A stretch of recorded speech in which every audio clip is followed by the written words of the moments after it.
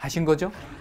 여러분 반갑습니다. 차길영입니다. 이 영화를 보여주면 학생들 수학 성적이 올라가더라고요. 뷰티풀 마인드라는 제 인생 영화인데 이 영화를 학생들한테 보여주면요 없던 열정도 생기는 경우를 제가 진짜 많이 봤습니다 천재 수학자죠 존 내쉬의 실화를 바탕으로 만든 영화인데 이 아카데미에서 이제 사관왕을 했어요 그리고 골든글러브에서도 사관왕 하면서 러셀 크로우가 남우주연상을 어, 타게 됩니다 이 존 내쉬 수학자인데 노벨 경제학상을 받죠 뭐 여러분 잘 아시겠지만 노벨상에는 수학 분야가 없습니다 이 영화를 보면요 이 존 내쉬가 대학원 기숙사 유리창에다가 그 이제 수학 문제를 풀어요. 이게 영화 포스터에도 이렇게 나와 있는데 이게 되게 멋있어 보이나 봐. 그러니까 이 영화를 학생들에게 보여주면 그 학원 창문에 학생들이 그 수학 문제를 풀기 시작을 해가지고 정말 그 청소하시는 아주머니가 아, 정말 이거 어떻게 해야 되냐 이거 청소하기 너무 힘들다 막 이런 일도 생기고 막 그랬었는데요 이 영화를 보면 이 존 내쉬가 좀 엉뚱해요 그래서 막 비둘기를 막 쫓아다니면서 비둘기 움직임을 수학적으로 이제 표현을 해보려고 하기도 하고 그러다가 워낙 이제 그 뛰어나니까 존네 씨가 이제 MIT 교수가 됩니다. 그래서 이제 막 승승장구를 하고 있는데 그 정부 비밀 요원이 찾아와가지고 소련 지금은 이제 러시아죠.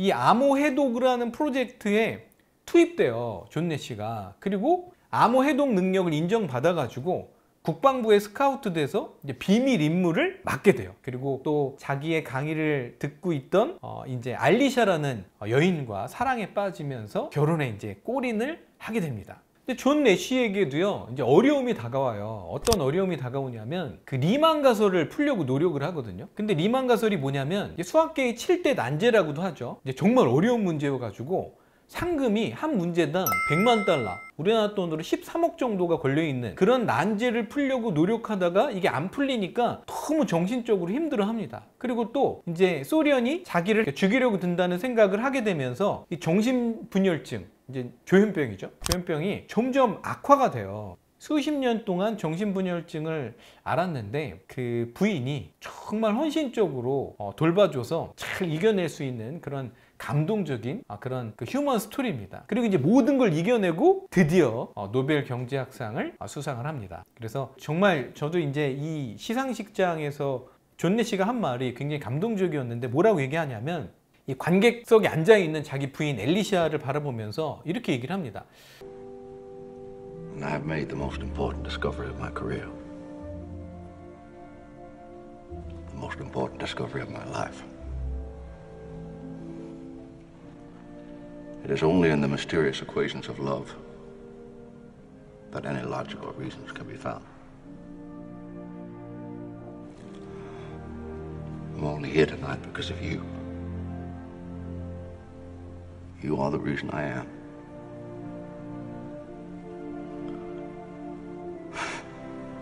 You are all my reasons. 또 기억에 남는 장면이 하나 있는데요. 어, 존 내쉬가 젊었을 때 그 이런 장면을 보게 됩니다. 한 노 교수가 식당에 앉아 있는데 동료 교수들이 와서 존경의 의미로 그 자신의 양복 안에서 만년필을 꺼내가지고 그 노 교수 앞에 놓고 가요. 많은 동료 교수들이. 그거를 이제 막 그 멀리서 부러움의 눈으로 쳐다를 봅니다. 존 내쉬가. 근데 나중에 이제 존 내쉬가 노벨상을 타고 나서 그 자기도 노교수가 되었을 때 동료 교수들이 와서 존경의 의미로 만년필을 하나씩 탁 이렇게 내려놓는 장면을 볼 때 어 저도 막 울컥하고 막 그런 막 감동이 막 안에서 밀려오는 네, 저도 부러우면서 네, 그런 장면이 있었습니다. 자, 존내쉬에 대해서 제가 조금만 더 말씀을 드리면 원래 이제 존내쉬는요 게임 이론을 연구를 했어요. 수학을 이용해서 게임 이론을 처음으로 증명을 했고 원래 이제 시장 경제에서는 균형이라는 말을 많이 쓰거든요. 근데 이제 존내쉬는 게임 이론에서 자기만의 균형 이론으로 노벨상을 탔는데 이제 이 이론이 어, 이 이후에 내시 균형이라고 불리게 되죠. 27페이지짜리 그 박사 논문 단 하나로 150년 동안 지속되어 온 경제학 이론을 완전히 뒤집고 신경제학의 새로운 패러다임을 제시한 어, 존 내시. 나중에는요 아벨상까지 받게 됩니다. 아벨상은요 필즈상과 함께 수학계에서 가장 권위 있는 상으로 어, 불리는데요. 아, 정말 수학자가 받을 수 있는 가장 명예로운 상이라고 할 수 있죠. 아벨상 상금이 한 10억 원 정도 됩니다. 근데 이제 안타깝게도 아벨상 상을 타고 집으로 돌아오던 중에 부인과 함께 교통사고로 사망을 하는 실제로 뭐 영화에 나오진 않지만 네, 그런 슬픈 사실이 있었습니다.